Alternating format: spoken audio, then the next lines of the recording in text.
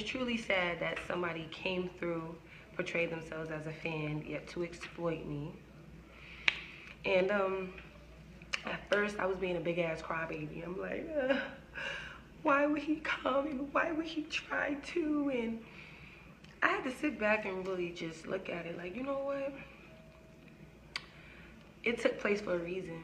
Like, I truly been praying, like, you know, God, what is my next move? How do I, you feel me, just guidance.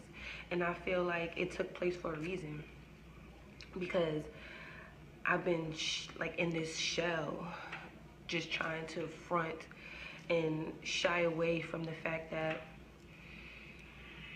you know, I didn't take full advantage of the opportunity that was given to me years ago when I was able to be on television and, um, you know, make a name for myself it was sort of been like